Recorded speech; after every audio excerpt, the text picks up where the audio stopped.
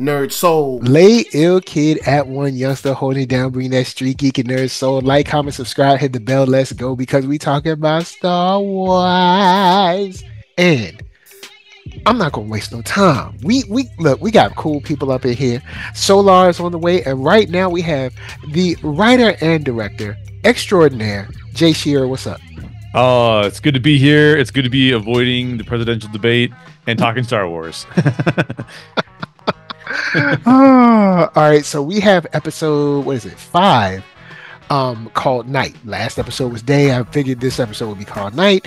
Um, after you watched episode five, known as Night, how are you feeling about this episode? I really enjoyed this episode because it was basically focused around what this show has been has done well. And mm-hmm. for me, it, yeah, it still has some of the same problems that the other episodes have, and I'm sure we'll yeah. talk about those. But but this is like, you know what? If you came to me and you said, um, well, let me say let me say it this way, because because Koi, I'm going to pronounce this guy's name wrong. Koi Jendao, I think is is how you pronounce it. I could be wrong. Shout out to Koi.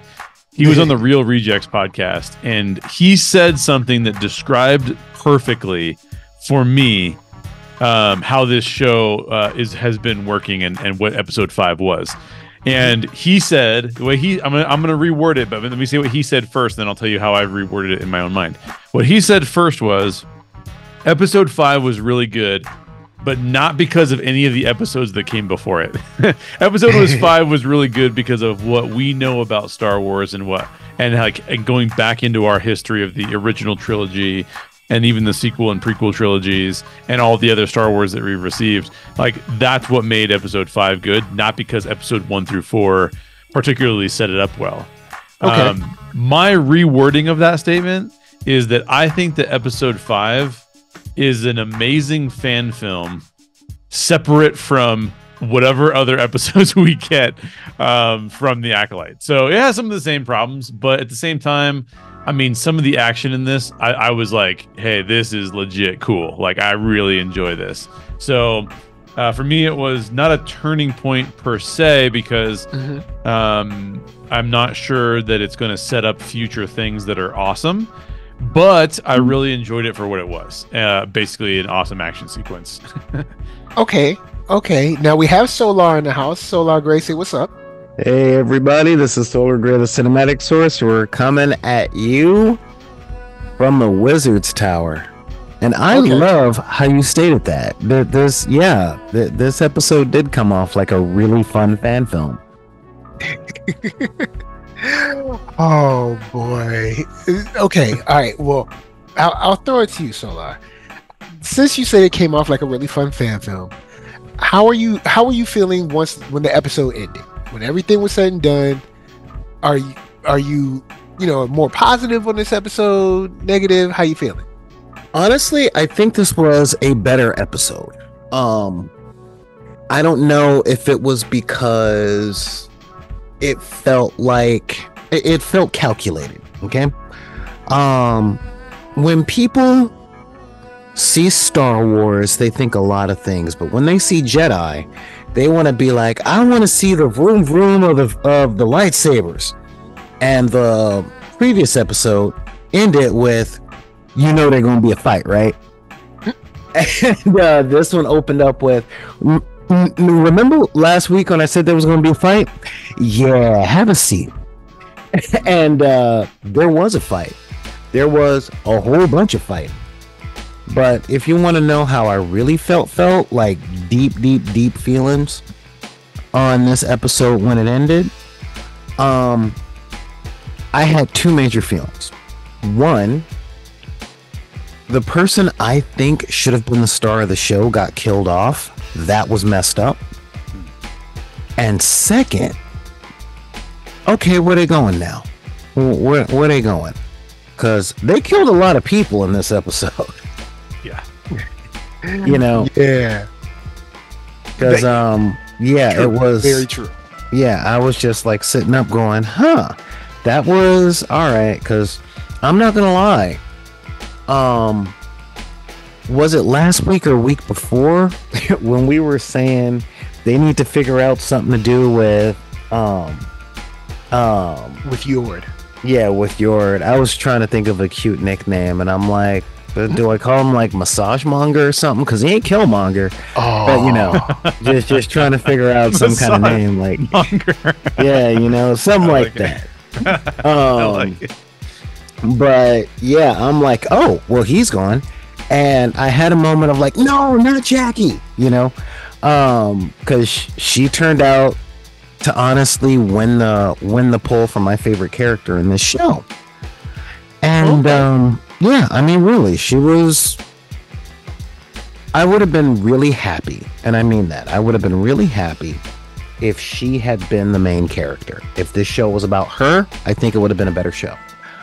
Um, but that's neither here nor there. yeah. When the show ended, I was like. Sol, you're an idiot. Like real idiot. And I've got this thing where when people go, no, you should know this. And I'm like, dude, they have the perspective of the character. We have the perspective of the audience. They don't know what I know. Because they don't get to see all the scenes that they're not in. True. But on this one, I'm like, she doesn't walk the same. She don't talk the same. She's not having any emotional weirdness about everything going on, including the death of two of her old friends, which you saw her react to before you got knocked out. And you don't know that ain't her? Man, Like for real? we'll we'll get there. We'll get there. So I'll um I'll I'll say where where I stand at this episode when as when it finished when the, when the episode finally finished. Um, I'll, I'll say this. I think this episode should have been episode three. Mm. I think, yeah, I think this episode should have been episode three. If Instead this of the episode, flashback? Yes, instead of the flashback. If this was episode three instead of flashback, I think people would be a little more maybe excited about this show. Maybe excited is not the term, but they'd be a little more forgiving about the show. I don't I- know if maybe forgiving's not the word. Maybe I'm not finding the right word, but I think this episode came a little too late, but I do like it. There are things that I don't like about it, but for the most part, this episode was entertaining and we stayed moving. We had two fights going on. Well, we kind of had three fights going on, and we kept moving forward and we we walked and talked at the same time. You know, we, we Like You an know, Aaron we have- Sorkin story. we have you know we have the the Sith you know dropping clues we know there's something going on between him and Sol and you know Sol is apparently hiding something and we we know there's some you know some hate ba- back there behind both of them because even Yord when he saw him he recognized him. He knew who he was. So this is you know this is good. These are these are kind of the break the kind of breadcrumbs i like.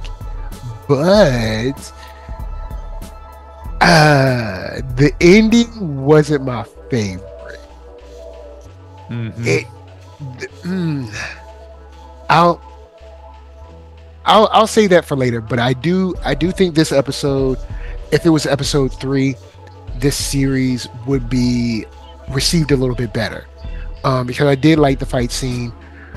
I think that Sol is a little. Hmm. I think you know what? I'll I'll start on this. We'll I'll get into Sol right now. This is how I feel about Sol. Sol is too. Maybe I'll throw this to I'll throw this to you, Jay. Is Sol too reserved for this mission? Maybe reserved's not the maybe reserved isn't the word. Too uh indecisive? Maybe It doesn't. Well, let, let me put it this way: um, we could break this down, and I hadn't really thought of this before. But he doesn't really feel like he's leading a team of Jedi.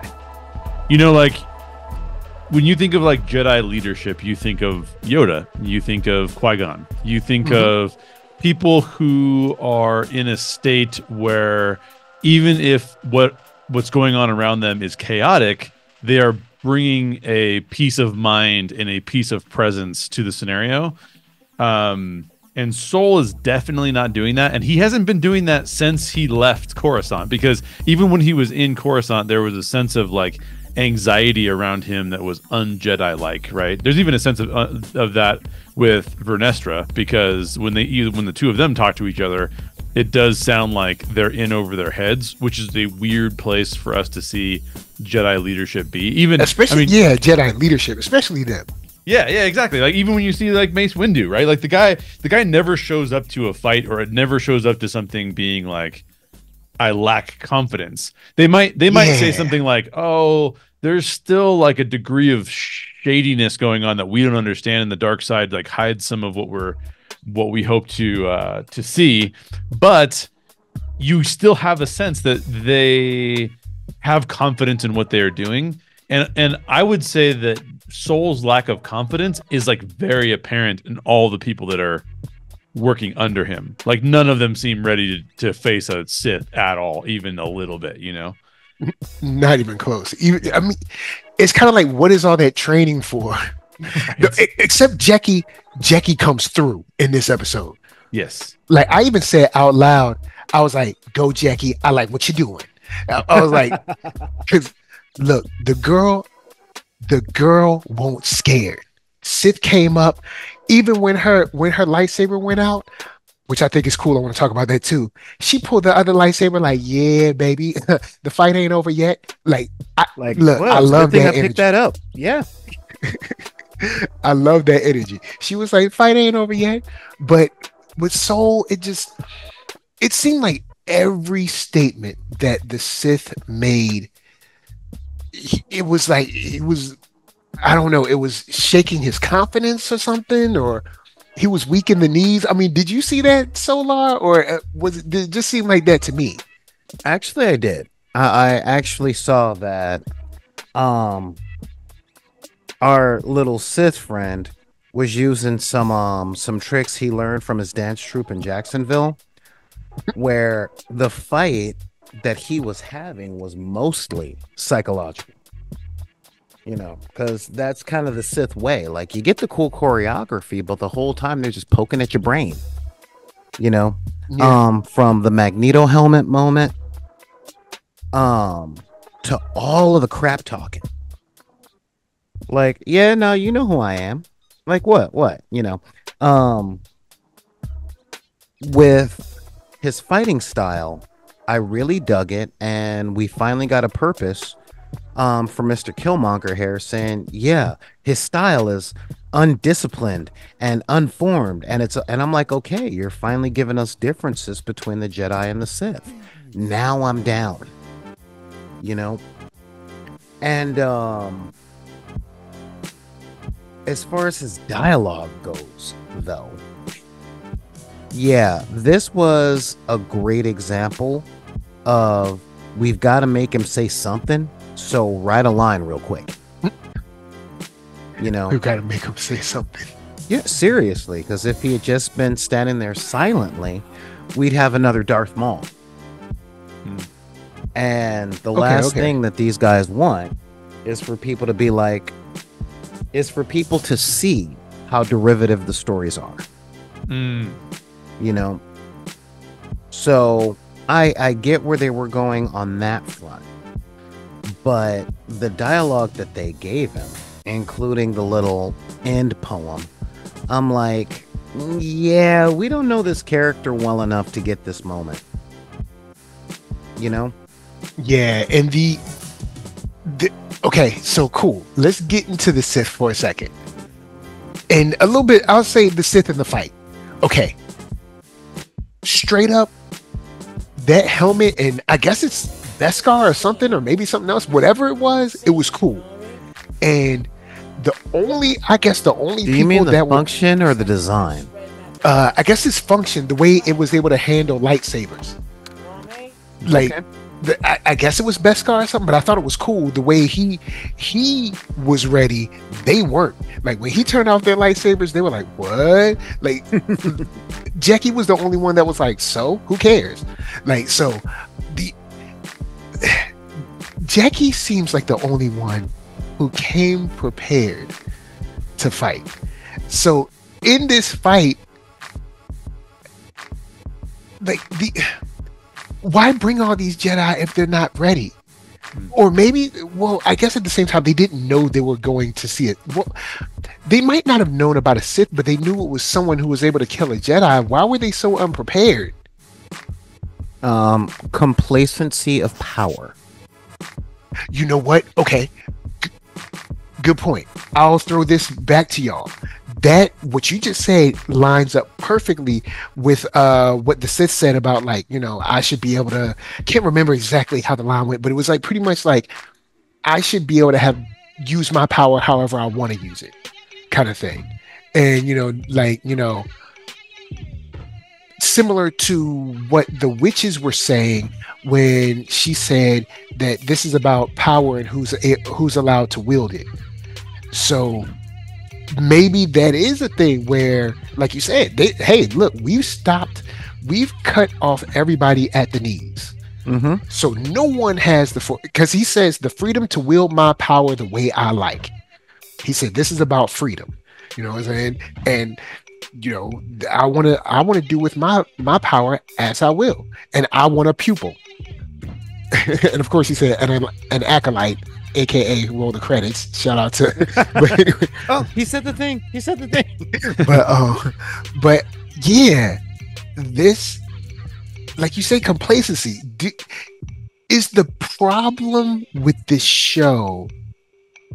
That or the problem that we that we've been experiencing with the Jedi, really their complacency because they've had it good for so long. Maybe that's maybe that's the question I want to ask. But for for Jay, is is that kind of like maybe what we're experiencing?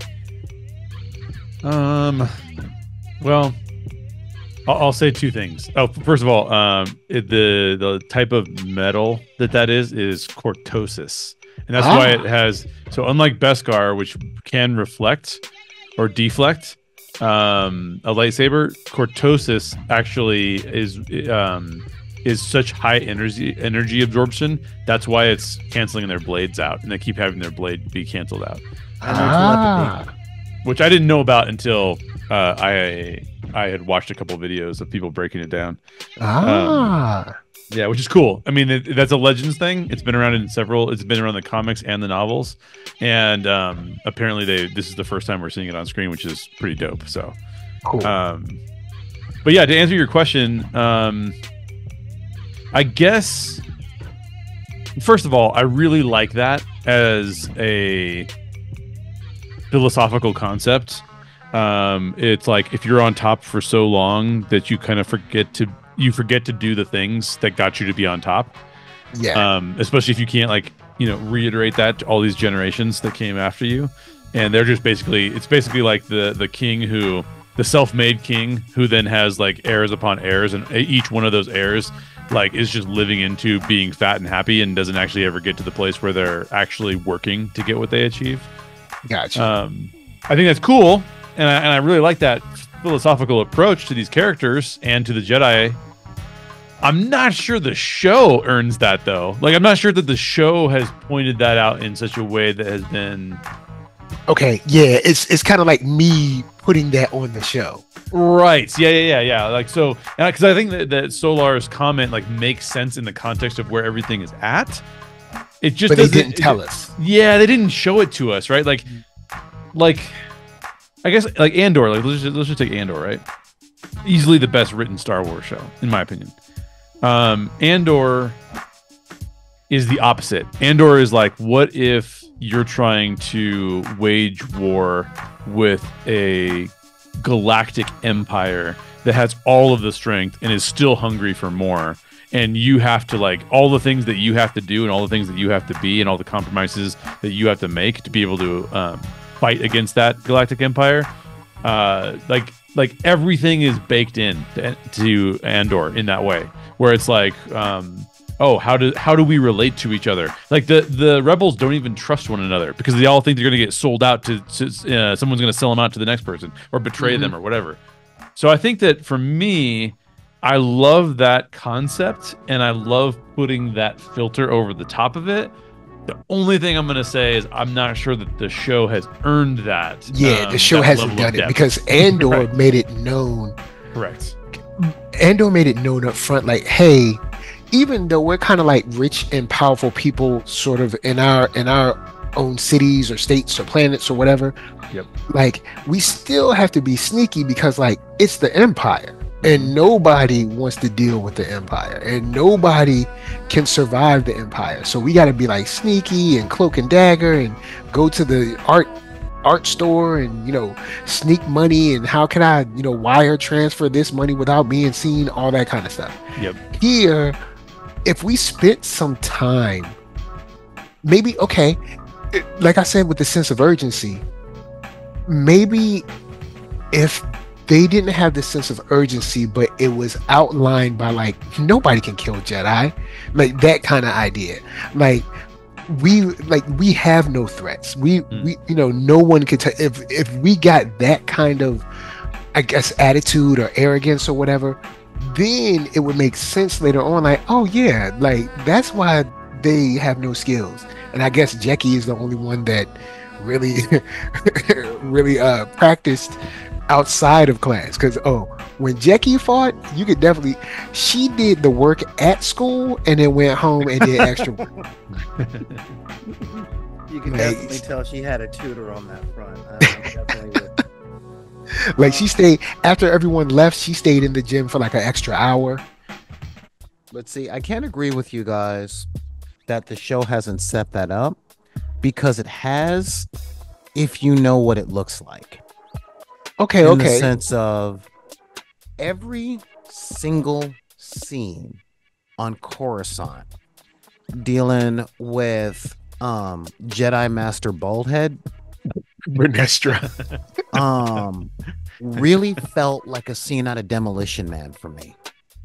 wow shelf the demolition man You know, seriously, think about it.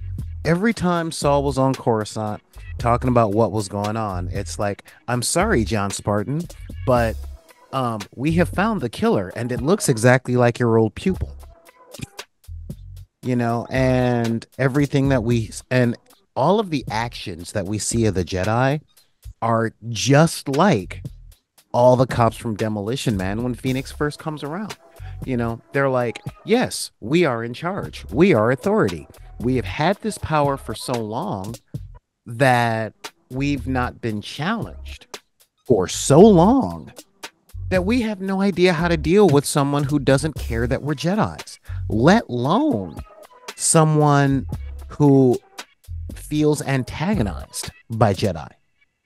You know, everything has been like, who trained you? Who did this? But really, it's been like, wait, you're not supposed to be able to do that. You know, that that's really what I was getting from most of the fight scenes. You know, especially okay because with the i mean i guess they did like, it Five or six of them, okay and um, and the Jedi are shocked. Like we weren't trained for this. You know, this guy's holding off five or six of us. Like we don't get our butts kicked like this. I mean, he was killing the the impaling and then pulling the other one into that was that was nice. That was that was a nice That touch. was dope. That was a nice touch. I, like even when I saw, I rewound that moment like, oh, that was nice. I mean, it's it's sad because you're a Jedi, but it's also nice. I got to give him props. I, like, I got to give him the respect that he deserves. Um, but okay, I'll leave I'll leave them alone for a second. With with Mae and Osha finally seeing each other once again. Yeah, this is a moment that I just didn't really it I didn't believe it. You can I just- definitely tell that the interaction between them was in the script, and that's all. Cause um, it, it didn't Yeah, I- I mean, when they did the number one, okay, I was feeling Mae. Okay, I really was, especially after the last episode where she's like, "Nah, my sister's alive. I'm gonna make a change. My whole motivation for following the Sith Master is now gone because I know I'm not alone. I got family. I'll do my time, um, and I'm cool. I'm gonna go in and turn myself into the Wookiee." Right? all right. And then this episode happens, And again, I'm feeling her because, oh no, my master is here. I got a jet. And she she spent the whole episode running. Like she was the widget that they were all fighting over. And that really came out in the fight choreography. And I was cool with that. However, however, when Osha pulled the straight up move of having um having Mr. Sith pulled into the sky by the flying roly polies, which by the way was gangster. I got I gotta give that to her. I'm like, all right, all right, yeah, you that was some straight up street rat stuff. Mae kept running. At that point, she would have been like, okay, look, I messed up. Y- you know what I mean? Yeah. Like she changed her whole motivation between episodes. Especially after we found out who the Sith guy was. And it's like, was she under his influence? Is she just a moron? I don't know. Is she just a moron? Well, again, we saw in the fight scenes, Jackie saved her like six times. Yeah. you know, after their fight. As soon as the Sith guy came out saying, "Oh nope, got to kill my student," Jackie was like, "Uh-uh, no, I don't like her, but you ain't gonna kill her." And if I wasn't gonna to- kill her, she has to face gonna kill her. Jedi justice. Yeah, exactly. Mondays at 8 p.m. No, but uh, As long as I- it's not a Dick Wolf show, I'll be all right. Uh, yeah, yeah, that that's the it- thing that got me. The the interaction between them didn't seem heartfelt, and even though I understand Osha being like, "Look, you have to pay for your crimes," but it just didn't seem. I don't know. It's tough. the The kids didn't seem to work for me, and the adult situations didn't seem to work for me. But I know they should. Yeah, and you know the only thing is at the end of at the end of the episode uh may swaps with osha. I don't know why. I guess because she's like okay there's one more more one more person that has to die. Or maybe she's just like yo i gotta escape you know my master or whatever. But i'm pretty sure the master's gonna be like oh you're not may like he's he's gonna know that it seems like immediately because he covered osha I guess maybe he thinks it's Mae. I don't think so because he covered her with like a jacket instead of just killing her. So Um, I don't think he's unaware. I think he knows that's Osha. yeah. I I'm pretty sure because he had said something in that episode like, "Oh, you know what? I think your sister would be a little better working for me because you messing up." girl." Mhm. But with that, if we are to say that he noticed, if he noticed that it was Osha, she didn't even say anything. She was just laying there. If he noticed that, then how does Sol not like That's what I'm saying. ah maybe maybe it's because he's just trying to rush to get back on the ship maybe we can write it off uh, on that but i mean then i have to kind of put it into the show you know oh also uh jay did you think it was weird that he just left the jedi there i mean do we take bodies home or do we just let them? yeah, no Jedi left behind. Uh, all the Jedi's left behind. Um, yeah, I mean, this is where this is where I say that it's still not it's still not overcoming any of the past issues that the episode has had. Here, here's here's here's my bigger my bigger thing. I'm, I'm I'm I know I'm I'm avoiding your question a little bit here. Um, but this is kind of a separate issue that I think is worth talking about. Mhm. Um, I think how do I want to say this? The thing that I'm frustrated with is some of the dialogue about this show. Um, because we can we can easily what we're doing, I think what I think what we always try and do when we break down Star Wars is we try and be as fair as possible. And we Yeah. try and say like these things are really good and these things are really bad. Um one of the things I find uh, a little bit frustrating, and this is not answering your question at all, it's totally going on a different tangent, but I just feel like we I need to say it is like there's these people out there that have these anti Disney Star Wars channels, accounts, Oh, yeah. whatever, right? And every single time the show comes out, it's like all there's all this stuff about how terrible the thing is, and they never do anything with when the show actually gets good. And then when the show is really good, like it's undeniably good, like Andor, they say something crazy like it's just too boring. And like at this point, I feel like we're at the point where we're like, we need more sensibility between people who are talking Star Wars. Um, I appreciate uh, John Campea because he's more sensible in that area.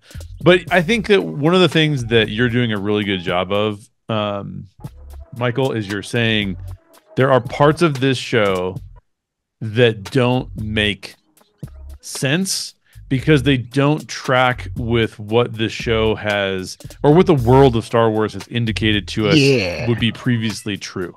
And um and, and and of course there's the there's the internal logic of the show itself, right? That that's like not related to Star Wars, but like cuz like if you're going to have twins in Star Wars, um we've seen that before. Luke and Leia are twins. Yeah, Um, we've seen it in Visions.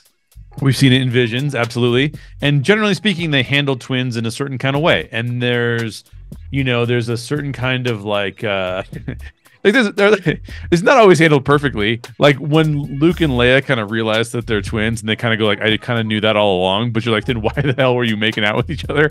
Like that's a problem, right? Like, yeah, that, that was like a o- okay. I guess we'll just all right. Yeah, exactly. So I think you know, but I think that there's there's a good amount in this show that that that you know souls just like we leave the bodies behind. Uh, the, the there there's like internal logic that's not quite being explained. Like so, for example, um, uh, I don't know what we're calling the Sith guy yet, Qimir, who was who he was. By the way, Manny Jacinto is doing a fantastic job in that role. Um, even when the script I think yeah. is not great, like he's doing phenomenal. I think Because he doesn't really have anything to do. Yeah. Yeah. Um so the thing I was going to say is that um when he there's lines of dialogue in the show that literally make sense that literally make no sense within the context of the show. So when they're fighting him at first, they're like, "Take off the helmet so I can see who you are," and he's like, "No way, because you'll be able to read my thoughts." And then his helmet's off. You And know, they don't read five minutes later. yeah, there's nothing. and Or then maybe they expect- don't read the thoughts because they know him and now they know who it is. They, I, Maybe, but like, I don't know. but Sol should at least indicate that that's true. Like he should say something like, like, "Oh my gosh, I can't believe it's you," or something, something, right? Yeah, like they- something to let us know. They give the look and they definitely notice him. Yord makes a statement. I can't remember how the statement, but they make a statement basically that they notice him. But I don't know if the who is he is okay. Maybe this is a good question. Mm. Is the who is this guy important enough or or enticing enough to make you care about who he is? Mm, You mean as a far as the good show is written? Yeah. Yeah. Not yet. yeah, not yet. Um, because when Yord comes out and he sees him and he's like, "You." The only thing I got from it was, "Didn't I bust you at the pawn shop?" That was it. Right. That's what I got too. Oh That's yeah. well, that's that's well said. That's exactly what I got. So yeah, it could be because I'm thinking maybe he's a another uh like a another uh Padawan that kind of uh left or washed out or whatever. And that's but you're right. He could be like pawn shop guy. You know. And um, honestly, it's too late in the run of this season to bring that up. I thought that that was really poor decision, like a really poor decision. Um, yeah, it's um, I don't think that we care enough about this character. We don't have enough of this character as far as the flash. I mean, we had a whole episode flashback to learn about Ocean Mae, which is cool. They're the main characters. We need to know a little bit. I'm with it. But we know nothing Hmm. about the pawn shop Sith. You know, we We don't also know know if nothing about the show. supposed fire. Hmm? We also know nothing about the supposed fire. Yeah, Right. And what happened there? Yeah. Exactly. you know. Um and you know, you brought up the fire. And that whole thing of the argument that was happening between Mae and Osha, dialogue that had to happen, but not the place or time. You know? Mm, okay. Um that in a better story would have been an argument to happen in the holding cell. Like they should have been having that conversation on the ship Mm. you know, where it was like, no, we're here. And it was like, no, man, you know, you destroyed our home. You did all this stuff. I'm not letting you out of that cell. Yeah, and even actually, even hmm, in a in a harder push on Mae to be evil, you can capture Mae. You can let the Sith go. He continues to kill more Jedi, and Mae can essentially sort of be your Hannibal Lecter for an episode or two to help you catch back up with the guy, maybe, and then you can share kind of moments between them where she's trying her maybe trying to get her to be serious instead of being so cold like look you're my sister. How'd you change like this? Some i, I don't know. I, And, you know, when they did the whole switch up, like, I was cool with the twin going, I'm going to pretend to be my sister to get on the ship. Because I'm like, all right, you know what? Do what you got to do to get a ride. But weren't you about to turn yourself in and get a ride anyway? yeah the biggest thing I Mhm. got was Mhm. why did you change your mind? Like there was nothing that really spurred the impetus for Mae to go back on the plan that she had at the beginning of the last episode that I could emotionally identify with. Not to say that it wasn't there. I just couldn't see it. yeah I, so that's that's the thing like we okay i'll say this and maybe may- maybe jay and you and jay can both kind of agree with this when we talk about star wars we spend i hate to say this we spend a lot of time essentially rewriting like Damn, essentially somebody has to. rewriting the show yeah. Somebody has to because they definitely don't before they start filming. like I, I don't know, man. There's there's a lot of moments that I think could be great emotionally, like with Yord, with like I said, you know, about maybe playing them off like uh like they had a, a brother sister relationship, and she had to kind of maybe now decide once once she's seen Mae, kind of now decide between her, you know, her new sibling and her old sibling, kind of thing, you know, but we, we don't get those things, but we do get a cool fight scene. Jecki has two cool fight scenes. Then, of course, uh, the Sith he takes on like seven Jedi and kills six of them. Like so, I mean, we get a cool fight scene, well, multiple fight scenes, but then when it slows down to kind of make sense for us, it's not working. Like even even when Mae, even when Osha's trying to get Yor to turn around and come back, maybe, maybe something with more emotion than just like this is my order to get you safe. Like maybe because, well, see, this is also going off the idea that maybe they had a a deeper relationship when they were younger. Maybe like I I can't lose you. I thought you were gone. Something like that. You know, you're my best friend or whatever, and you know s- something. It's just like I got orders, so I got to do.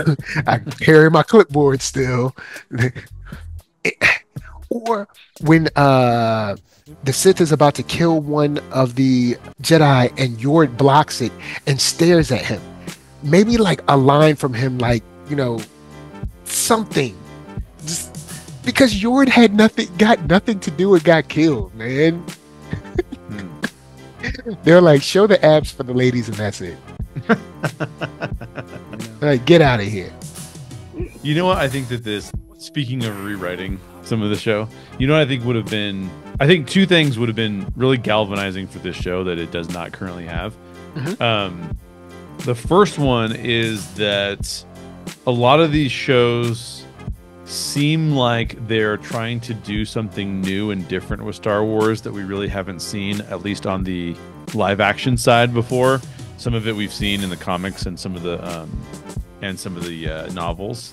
Um, So, for example, Andor said we're really going to go after like an intense study of like what it would be like to be a, a realistic version of a rebel. Um, and okay, that works because they really pursued that and they they really dug into that and they said in fact we're going to exclude Jedi from this show because that's a distraction. Um, this show feels like it really should have gone into the neo noir like detective play and had it been all about the mystery and not at all about like some of the Jedi political stuff and some of that kind of uh, or the or even even the um even the best part of the show which is the which is the fight sequences and the and the coordination there fight coordination those are awesome but it really does detract from the thing the show was supposed to be was a mystery and it's Yeah. pretty bad at being a mystery, right? Because it's getting distracted by all this other stuff. Um, so I feel like that's one thing they should have done. The second thing they should have done, had they actually selected that as the, as the course of action, is I really feel like they should have made it a non-linear show. So what I mean by that is maybe start out with like Memento, um, or even um, even Oppenheimer did this a little bit, but play with the timeline. Like there's two timelines running on the show at one time. One of them is um, uh, Mae and Osha's trying to figure each other out and trying to really understand what happened and trying to figure out if their family or if they're if their Force families, the Sith or the Jedi, are actually their real families, or if they're actually their real family. And then the other timeline being who is this new Sith person and why have the Jedi why are the Jedi so closed off and don't understand that the Sith, Sith person is it, uh, exists? And then those two things playing against one another but non-linearly right? So we Okay. could jump around in the timeline. We could say like we could see the fight here um, we could have seen the fight early on. Even early, I agree with you, Michael, that it should have came way earlier in the show. Episode three makes sense to me, but you could have actually started out the show like that and then been like end the end episode one on. You have twins that don't know why they're in their respective parties. They're both going to the opposite sides of where they where where, where we assume that they started. And then the Jedi are going, oh my gosh, we just had six Jedi, seven Jedi, how many Jedi die? And there is some new force in the galaxy. And then it starts to do starts to move forward, but at the same time, we start to see flashbacks of of seeing information that kind of unravels and helps us as the audience kind of decipher what this story is. But presenting it in the linear fashion in which it's done just feels like it doesn't capture any of the tonal elements that they're trying to capture. So it's just weird. So yeah, I, I am I am rewriting it, but it's almost like I have to in my head to kind of want to, to, to be like a to give Star Wars a fair shake and to be a fan of it. so Yeah. so yeah. How But, I mean, at least you, we're not- Oh, go How ahead. Go ahead. Dare you? What did You I do? straight up quoted me talking about every single Tyler Perry movie I have ever seen. You're just sitting Oh, up here going, pick a tone. Pick a tone. Are you a mystery? Are you a family drama? Like, pick something and stick to it. You can have some subtones, you can have a little spice, but you can't put the whole rack on every plate. I'm Like, sorry. you can you can have like a B plot, but you done got down to the G plot. Like, Yeah. Yeah, All uh, dude, so- they they got a whole Memento thing going, and I agree with you. Um, and this isn't just me saying what I would prefer to watch or anything like that, because as soon as I found out, like episode three, you know what episode three showed me? what? This could have been frozen in the Star Wars universe. It really could have been. Hmm. You got two sisters, one good, one presumably evil. A whole bunch of bad stuff happens. And we could have had a cool musical number with um, a sci fi techno rendition of Let It Go, sang by Mae. And then a real bad guy like like Manny could have come out. And then the sisters come together to stop him. I mean, that would have been, that actually would have been a much better story. Mm. Um, now I'm not saying I don't like this show, by the way, because I love kung fu movies, and this show very much has a lot of flavor of kung fu movies I've seen in the past. I mentioned that last week, but what it's not giving, like what it's where it's messing up on that kung fu movie uh, formula, is that kung fu movies have very straightforward plots. Like, not gonna lie, when I saw Crouching Tiger, Hidden Dragon in the theaters, I was a little confused by the ending. And when I saw House of Flying Daggers, I was a little confused about the climax. But you know what? The story was pretty straightforward. Yeah. And you, You know, know? what? We could use the sword fight in in Crouching Tiger in Star We can use that in this show. Well, in truth, I mean, we're not getting it. well, in but- truth, I'm not expecting that because that cost a lot of money. and um, But they're spending like $22 million an episode. do you know how much it costs to run that soundstage? You know, I guess. I mean, they're they're spending a lot of the money on on the freaking walls that they're using, but the fact of the matter is, I'm all right with the fight scenes. In fact, the fight between Jecki and Manny was one of the better fight scenes I've seen from Star Wars in the past seven years. Mm. You it know, was it solid. really was. It was solid. I like, man, even the, You know. the moment before she died where she was like elbowing him in the face and s- I was Yeah. like, I mean, I was like, Jecki is man. Look, we got to put her jersey up. Like, respect to her. Yeah, I mean, seriously, respect. I, I kind of, I put her up there with worthy. You know, not the best, but you know, solid, solid there. um, God, I'm old. Anyway, uh, Me too. I remember worthy. but Big game um, worthy, maybe. Yeah, you know, um, and the fight again, the fight choreography and the fight scenes. This really felt like the producers throwing the fans a bone. Like, all right, look, we've been showing nothing but Jedi and ugly robes for the whole show. Here's your lightsaber fight, okay? I know this is what y'all wanted, and we're gonna kick this lightsaber fight up a notch. And you know, I had to give shout outs to Ahsoka. Um, that kind of was the first place that I saw when I saw Ezra using Force Fu. I like Force Fu.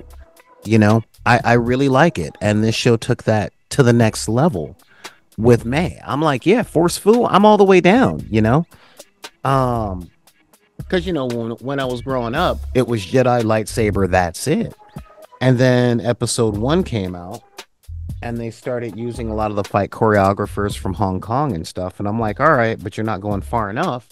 And I guess they read the letters in order that they're received because they finally read my letter and they're going a little far. But the storytelling that they're doing, um, with the dialogue, the scripts, the tones, um, the dialogue, um, the dialogue. Did I mention the dialogue? Um, and I mean, don't get me wrong, okay? Star Wars has never been Shakespearean, ever. Right. You know, I I still, um, actually, while I'm thinking about it, yeah, Jay, I agree with you. We have a lot of people out there, which is what makes this particular show, um, not not not the acolyte, but our review of this show, so difficult for us. So y'all better subscribe because we're actually reviewing the show and not going Kathleen Kennedy ruined my childhood.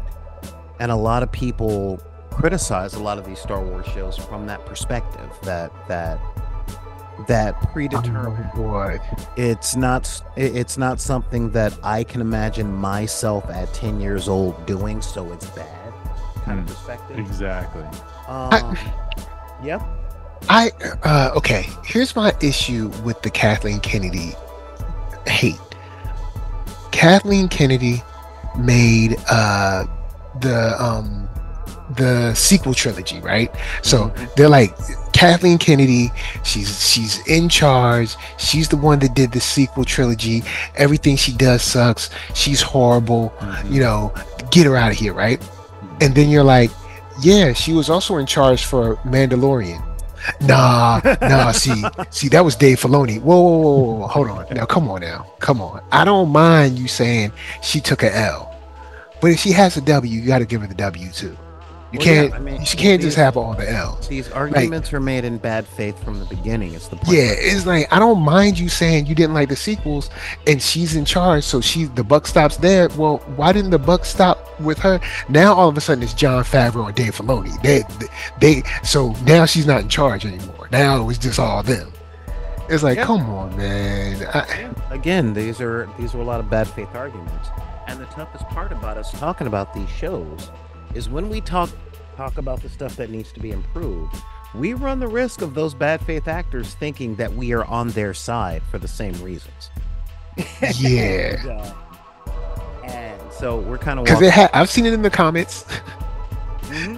It's like, yeah, no, I don't hate Kathleen Kennedy. I don't, I don't love her or hate her. I, I think she's kind of middle of the road. She's around maybe fifty percent, forty percent, something like that. She's, you know, I mean, I've always said if Kathleen Kennedy came to me tomorrow and said I want to produce one of your movies, I would be like, "That sounds amazing." I would never be like, "Oh, what are you talking about? Get out of here." I mean, like, I think I think Kathleen Kennedy's the unfortunate. Here's what I think is unfortunate, right?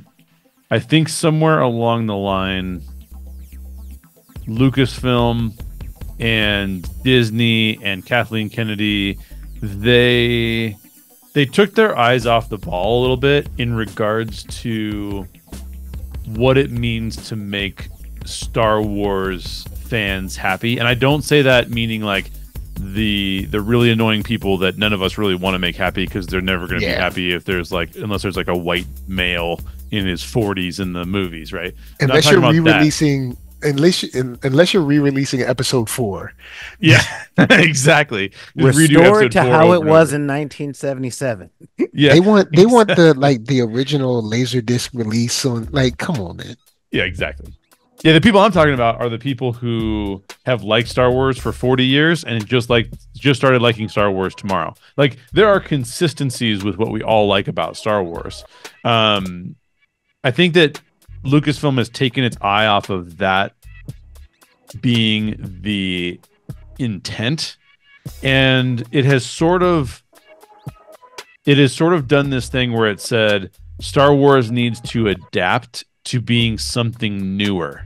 And that's where it, it doesn't understand what newer Okay. means in my mind. Like because like newer like you could be you could be newer in terms of saying we're going to update all the special effects. We're going to make it more inclusive. We're going to um, explore portions of the Star Wars universe that we've never seen before. All of those things are newer but have nothing to do with changing the nature of what Star Wars is and what Star Wars means to people. Um, Star Wars means to people that there is hope and redemption in the galaxy. Star Wars means to people that there are there are good and evil, and that although that may be occasionally nuanced, it's still easy for us to understand what is clearly evil and what is clearly good. Um, Yeah. I think it's also about laser guns and la- and laser swords and you know what I mean like and just fun stuff like that and relationships too right like uh, it's really it's still really weird to me that we do not have any nothing approaching romance has come out of Disney Yeah. Star we, Wars we, you and I talked about it on one episode. I'm like, where are all these babies coming from? Like, come Yeah. on. Like, Yeah. What- like, Um, it's okay to have it's okay to have a family or like a budding romance that turns into a marriage or something like these these people these these species they're coming from something all right storks aren't dropping them off Okay. Right. So I got two things to say on that. One, we all survived the 90s. And when I say that, um when you were talking about making it new, making it fresh, you know the first thing that came to my head? Poochie. You know, the dog that was inserted into Itchy and Scratchy on The Simpsons that was extreme, you know, um, just like the 90s. And when they turned Huey, Dewey, and Louie from DuckTales to slacking teenagers, you know, um, the thing is, even though the newer ducktales i do like the art style the comedy is hit or miss for me but i do Well- like the art style well, the big thing is, and what we're talking about here, is we're talking about um the generation gap in film production. Okay, um, it doesn't matter what the producers say that they're making. Okay, what it comes down to is they're trying to make something that they like, hoping that other people like it too. Matter of fact, it's not even hope; they take it as a given that Hmm. other people will like it. Hmm. Now, with Star Wars, okay, Star Wars has always wrote this fine line between what's up fun and, of course, kid stuff. Mhm. Because Lucas invented the merchandising model that has not changed since 1978. Okay, I'm serious. I'm, I'm just being real, you know. Um, but Lucas was trying to make his idea of Buck Rogers and Flash Gordon. You know, um, um, John Carpenter's The Thing was because he loved The Thing from Another World. That was a 1950s movie. So we got the people that are finally in power making the stuff that they wanted when they were young and advertising it to people who want what they wanted when they were young. And technology has a lot to do with it because that old model, the Spielberg, Cameron, you know, film school generation model, worked pre internet and pre home theater. Because we had to wait a year and a half before Yeah. that thing that we loved in the movies came on TV and we got to see one without curse words, you know, hippie by day, Ricky Martin. Um, we had time to marinate and to romanticize, and we had distance from the stuff that we liked when we were kids. Mhm.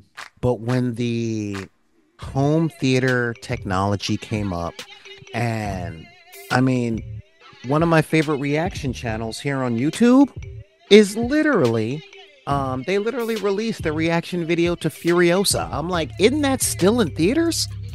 You know, Yeah. the turnaround is so quick that the people who have the money and the power and are producing things right now are making stuff from their childhood 20, 30 years ago, where the consumer childhood never ends.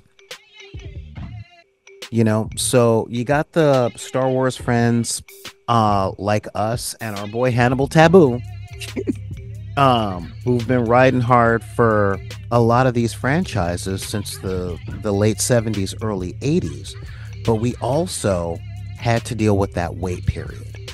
We didn't have wait a minute isn't that just like this other movie from this other time? And we could click a few buttons and see a scene by scene breakdown and a scene by scene comparison to find out that we're right you know?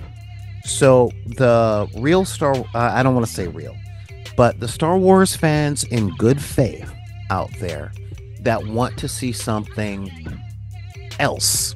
I don't want to say something new because there's nothing new under the sun and that was written 2500 years ago. Um they want to see something other than the nostalgia of their parents and older siblings.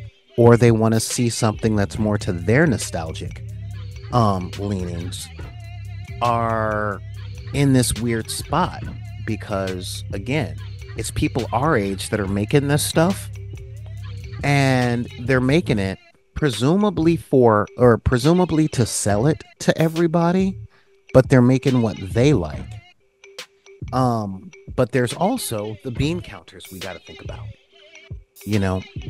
The executives in the office going oh yeah by the way you need to add this in for the kansas demographic and you got to add this in because when we go into syndication we want to make sure that pepsi um will foot the bill a little bit you know what i mean Wow.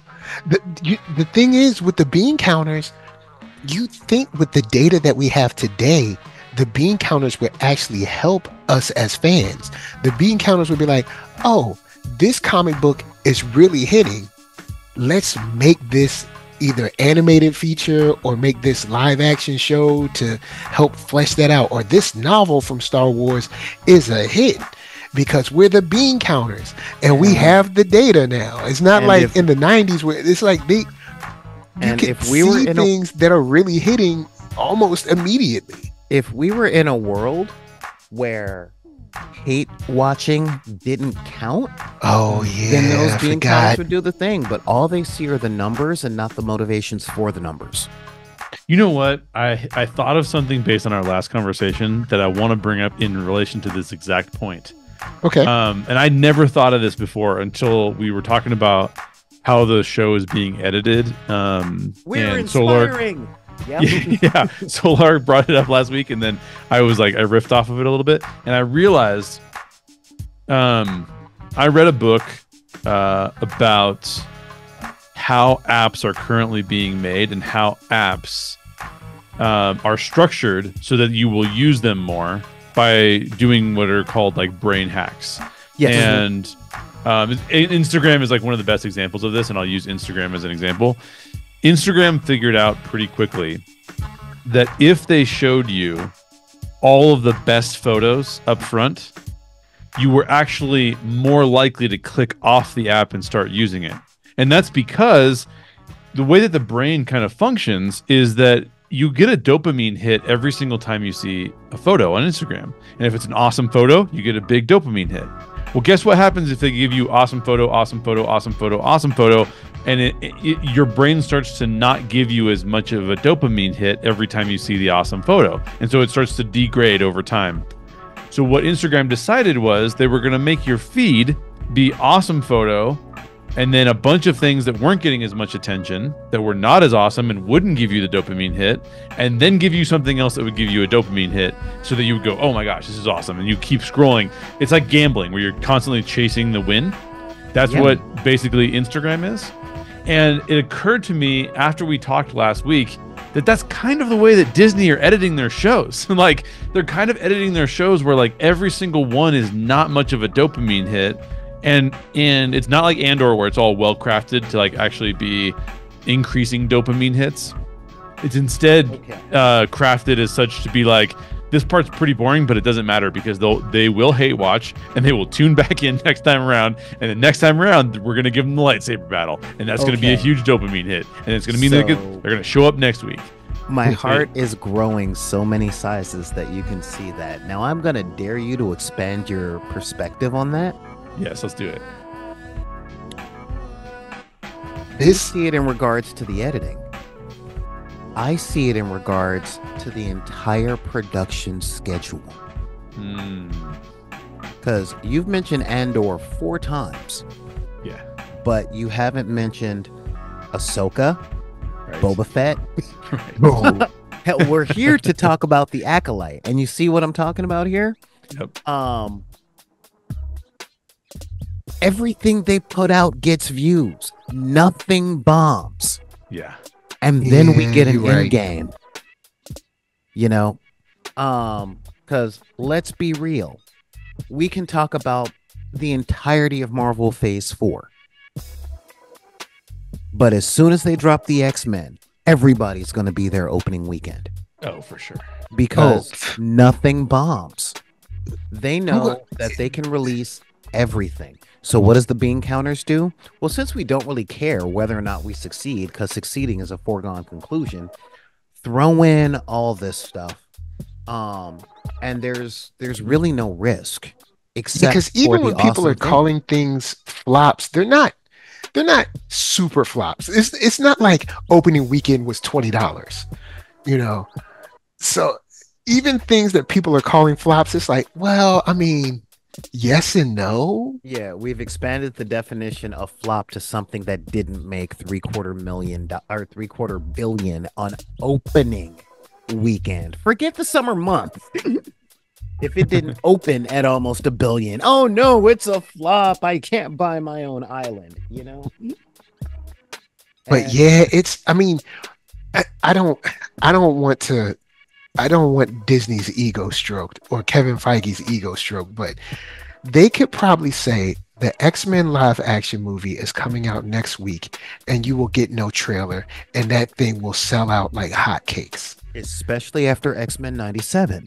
Yeah. because X Men '97 was that that um slot machine win. Yeah. that's been going against superhero fatigue. Mhm. And what we're looking at with the Acolyte is another pull on that one armed bandit in Star Wars fatigue. Because we know they can do another Andor. Yeah, which is why which is why I say there's no such thing as superhero fatigue, rom-com fatigue, Star Wars fatigue. Is that um, are you uh, it, it's it just doesn't exist. The issue is you don't like what you're seeing.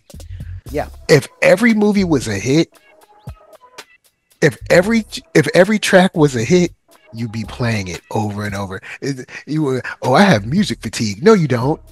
The music you don't like the music they've been putting out, but you don't like if if every movie that Marvel put out was objectively at least a seven, we wouldn't be having this issue. Like objectively, like even the harshest critics were like, it's a seven out of ten. If they were dropping those, there would no one would be talking about fatigue. They'd be like, "Where's the next?" one? So, it, yeah, I that especially with that you know that gambling the gambling analogy, yeah, the because for me, like I said, with uh someone in the comments, I can't remember who it was. I wish I could remember their name, but they were talking about how they uh, got rid of Disney Plus because they just haven't really get been getting anything, but they were referring to live action only. And I was like, well, if you have live, if you have live action, you know, and that's it, you do have Andor, but Andor, I will say, even though it's good, it is slow. I will agree with that criticism of it. But even though it's slow, it is good. Then you have Mandalorian, what I would say is, if not, if not right beside it, just under it. And for me, action wise, I would put it over it. But after after Andor and Mando, Star Wars quality is a roller coaster. Like episode one, two, and three are bad. Four, five, and six are good. Seven and eight are okay. You know, See, Or- from and from- and I- that's I- kind of where we are. And with that, it's not that Star Wars sucks. It's that Star Wars is inconsistent as all get out. Um, quite honestly, I see Star Wars as taste driven at this point. Okay. Um, because you got the shows that are universally good, like especially Mando seasons one and two, right? But people dropped out of Mando on season three. Um, for reasons I don't want to talk about bad actors or um people who argue in bad faith. Yeah. But some folks dropped out of Mando season three. But see, Mando seasons one and two, universally good, practically no notes, you know, because that had a little something for everybody. Um, Ahsoka was for the ladies. Um, the Bad Batch were for the teenagers. Um, they they choose their audience and they cater to that audience in the same way that episodes one, two, and three, okay, the prequels, were not for me. They were for my little cousins and my kid. Okay. Um, were now, they this good? is pod racing. Huh? now this is pod racing. Exactly. You know. Even though I still say, if you guys over at Disney and Lucasfilm did a mock 30 for 30 about Sebulba after the loss, I'd watch it. A mock 30 for 30? Yeah, you know how they do their like 30 for 30 documentaries about sports? Oh, Well, okay. you know, do one about Sebulba after the loss and how he had to climb back to prominence in the pod racing game. That that'd be awesome. You know, it'd be- it- but that's a that's a whole other side thing. Like Star Wars, you're lo- you're missing opportunities, man. you know so i mean that that's the big thing and i think a lot of complaints that come out is folks complain very loudly about something that they watched that was meant for someone else. Okay. you know? Um again y'all know i watch stuff from all over. Like uh one of my favorite cartoons that wasn't avatar the last airbender um over the past few years was the owl house Okay. um, fact I have never been a 14 year old girl, but I thought it was a great cartoon. And I recognized in a lot of areas where the show wasn't written for me. But I loved it for what it was. And um, just because I've never been a 13 uh, year old girl doesn't mean I didn't go through some of those same things because I happen to be Homo sapien sapien. Bet y'all thought I was going somewhere else. um, and you know, when I watch uh, Moon Girl and Devil Dinosaur, hell, when I read Moon Girl and Devil Dinosaur, you know, I know that's not written for 47 year old men, but I'm feeling it. You know what I mean? I mean, it's a family, so I mean, 47 year old men have families. Yeah, but and, the dad ain't the main character, and that's nah, my point. Um, and I think a lot of a lot of the stuff that comes down is a lot of folks don't quite understand that these companies don't know who they are. They they really don't. These companies, uh, the people that are paying for these and approving these scripts, they are not middle class Americans. They're upper class Americans. All right. Um, like the ones that are on the lowest rungs think they're middle class and think that everybody has a maid. You feel me? Well, shoot, you know? the money that they're making living in LA, they might actually just be like lower middle class. I'm talking the people paying for it, not the writers. Oh, okay. The people paying for it, the, the people yeah. paying for it are probably 1%. Yeah. Um, well, they're definitely in the top five. And that's kind of the point that I'm making.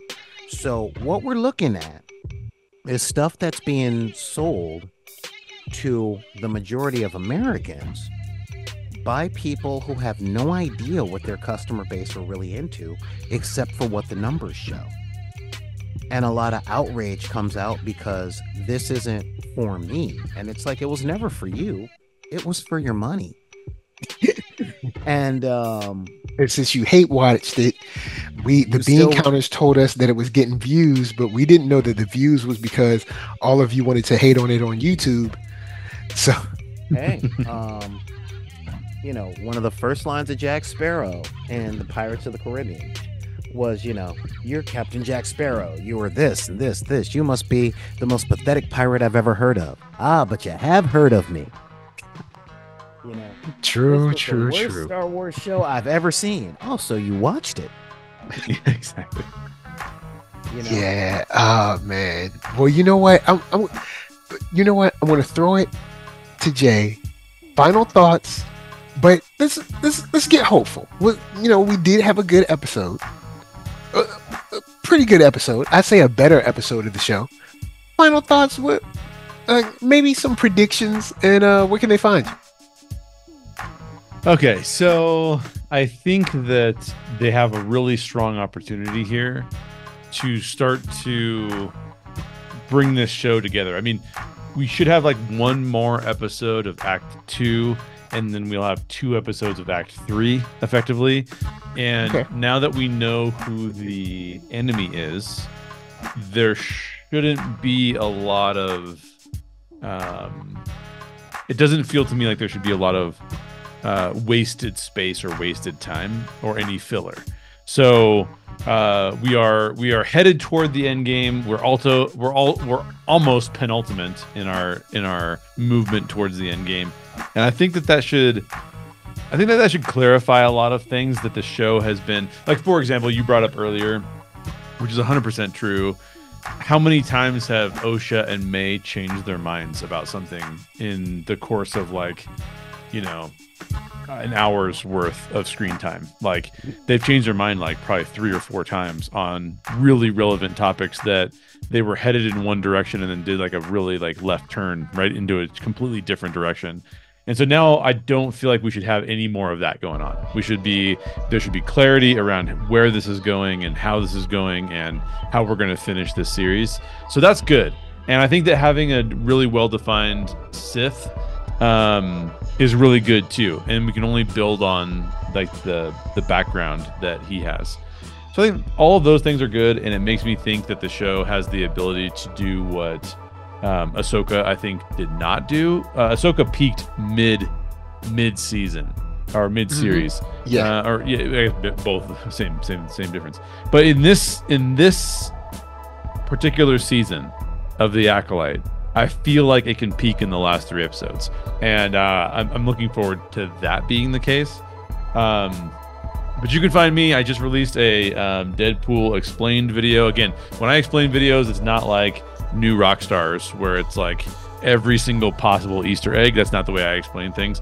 The way I explain things is from a um, storyteller's point of view. And so I'm looking at things like why did they choose that to be the first act? What happens of significance in the second act? What are the character arcs going throughout this? Um, so I just explained Deadpool, and that's over at How Stories Work with Jay Sherer. So you can catch me over there. You can also catch me on uh, Orange Grove 55. That's where the Story Geeks podcast is currently being housed and we'll talk about whatever. The last thing we talked about was Deadpool, um, the original Deadpool. We're going to talk about Deadpool 2 pretty soon, and then we're also going to talk about Deadpool and Wolverine after that comes out. Um, so, yeah, you can find me uh, How Stories Work with Jay Sherer and then Orange Grove 55. All right, all right. That's what I'm talking about. And Solar Greye, final thoughts, maybe a prediction or two. Where so give give me something positive. Give me give me something to excite. And uh, where can they find you? Well, that's hard following up Jay because you know you're. I, I I have a little bit of a headache right now, and that's because there's a whole human being in my head. um. Yeah. You know, now that they've finished up um Act Two in story structure, I'm actually really looking forward to where they're going with Act Three. Um, what are they gonna do with um yeah, what are they gonna do with um with Osha and Mae?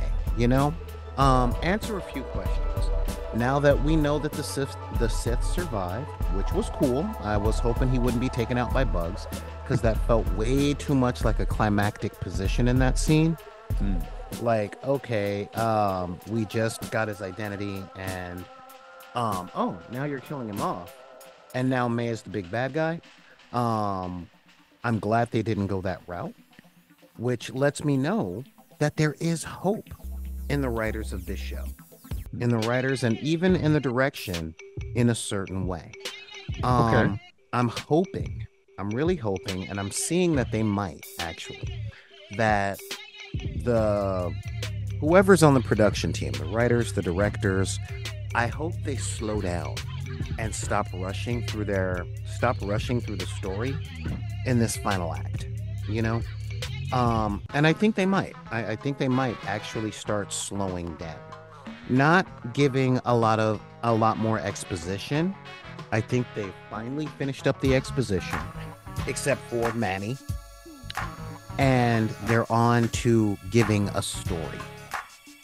And I'm really looking forward to that because the story isn't terrible so far.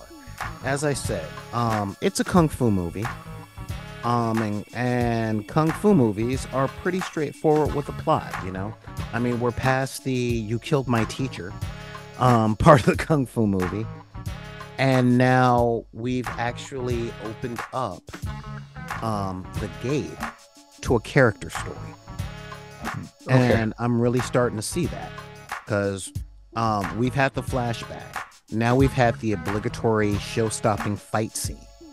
Um, and I say the showstopper because you know it is very much like a musical. We have the showstopper. Now we can get to the story. Um, and I mean the real story, not just of why Mae is doing what she's doing, but who they are as a character and where is their journey taking them you know so i'm really looking forward to that actually i really am um as you know um i am a big trekker and i'm always willing to give stuff you know a few episodes sometimes even as as much as a season to find its footing and now we're at that point where we've met the characters, we know the stories, we know the rhymes. Now, can we get to the job? And I think that that is where we're at now. And I think the writers know that. And the thing that made me think that the writers know that is the fact that in this episode they finally said, "Oh yeah, by the way, they're Jedi. Here's a lightsaber fight." So they know what the audience expects, and I think they've gotten the subverting expectations part of their job out of their system. To hope, Yeah, you don't always have to subvert expectations. Subverting expectations doesn't make you smart. Everybody it doesn't make the their story clever. It doesn't. but You know. uh, sorry, go ahead. My no everybody wants their turn you know um again um we we've all worked in and around the industry and once a trend comes up that's all anybody talks about so there's a lot of pressure to do the same thing that somebody else did you know ask chris nolan everybody's trying to be like him after batman right Oh boy. so, I I mean, hey, it, it, it is a thing. So, fact of the matter is, we're now in the part of the story where we've shaken off everything. Okay. Mm. We've stretched our muscles, we've knocked the rust off. Now we could get three episodes of a good story. And that's what I'm looking forward to. Hmm. You know, I, I really do. I mean, no, it's not as good as Mandalorian season one, but in all fairness, it had a baby, so it, it, it kind of cheated. you know, you put actual children in something, it's an automatic, like, hey, it's got a kid in it. Cool. That's why they did it for all those Godzilla movies. But if you guys want to know more, you guys can find me at twitch.tv slash BID underscore P um, at the Back in the Deck Twitch channel. You can also look me up on YouTube under Solar Greye. And we are live Mondays, Wednesdays, and Fridays every day that I'm not at a day job. cool, cool. All right. Um, for me, it's the instead of well, I'll I'll say this. You you uh, referenced how this is a kung fu movie, and a lot of it, at least from the trailer, gave us that idea. We were gonna get a mystery and a kung fu movie.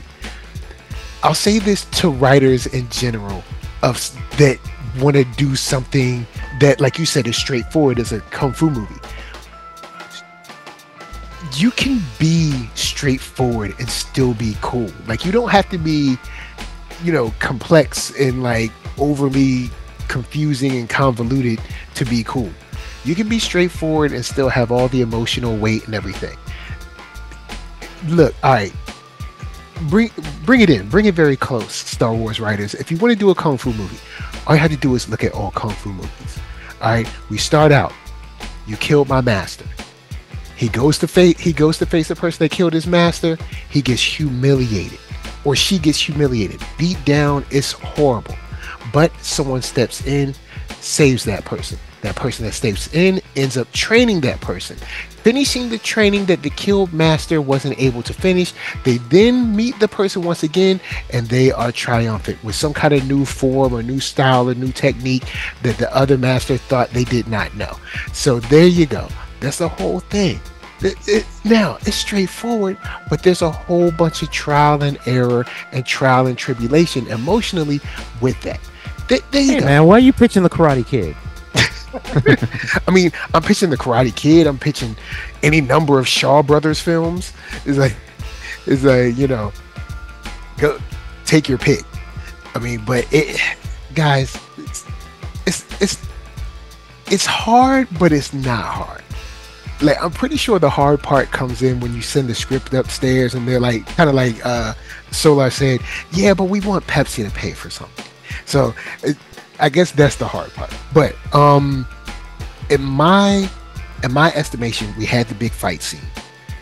For these last three episodes, make them intense, and I think that will be good. If you make them intense, intense for Osha, intense for Mae, and I think we're good. But the ball's in your court. Y'all can do this, but you got to bring it home because it's been iffy up to this point. It's been rocky. So y'all got y'all got three episodes. Bring it home. But with that said, if only it had been Rocky. That would have been a cool little love story. yeah, look, man, all you had to do is run up a mountain in the snow and then like solve the Cold War and then that's it. the dude was like lifting logs, man. Come on. Like, I mean, the training, the training montage. Star Wars could use a training montage. There you go. Now, anyway, so NERD, SOUL, Facebook, Instagram, Twitter, TikTok, podcast, all that jazz. And until the next time that you are faced with a Sith that comes out of nowhere and seems to have way more skills than the rest of your Kung Fu brethren, then that means that you need to get back in the gym. Peace.